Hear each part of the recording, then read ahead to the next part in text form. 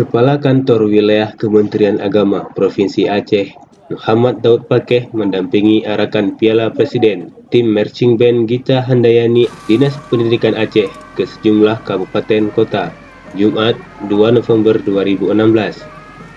Rombongan berangkat dari kota Banda Aceh menuju Kabupaten Aceh Jaya, Aceh Barat, Nagan Raya, Aceh Barat Daya, dan singgah di Tapak Tuan, Aceh Selatan. Esoknya, perjalanan akan dilanjutkan ke kota Subulu Salam untuk pembukaan HUT PGRI ke-71 dan HGN Provinsi Aceh tahun 2016. Kakanwil mendampingi perjalanan marching band Gita Handayani Dinas Pendidikan Aceh. Berhubung Kepala Dinas Pendidikan sedang ada tugas lain yang tidak bisa diwakili.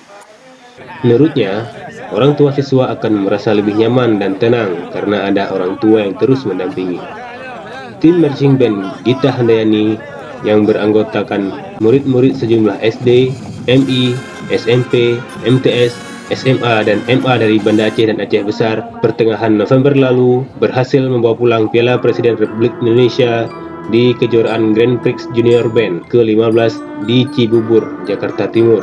Tim marching band Gita Handayani Aceh akan mengarak Piala Presiden tersebut ke sejumlah kabupaten dan kota di Aceh mulai dari Kabupaten Aceh Jaya, kemudian ke Aceh Barat, Aceh Barat Daya, Aceh Selatan, Subulu Salam, Aceh Tenggara, Gaya Luwes, Meriah, Birun, Pidia Jaya, dan finish di Kabupaten Pidia.